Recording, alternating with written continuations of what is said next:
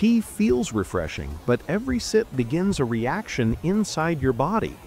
Warm caffeine and tannins travel down to your stomach where the story really starts. Once tea reaches the stomach, caffeine triggers more acid and the lining starts to feel irritated.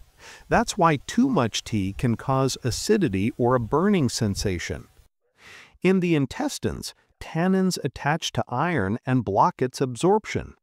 Over time, this can quietly lead to lower iron levels and weakness. Caffeine now enters your bloodstream, pushing your heart to beat faster.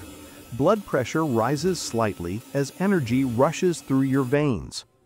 Your adrenal glands react next, releasing cortisol, the body's stress hormone. For a short while you feel alert, but the body stays on edge.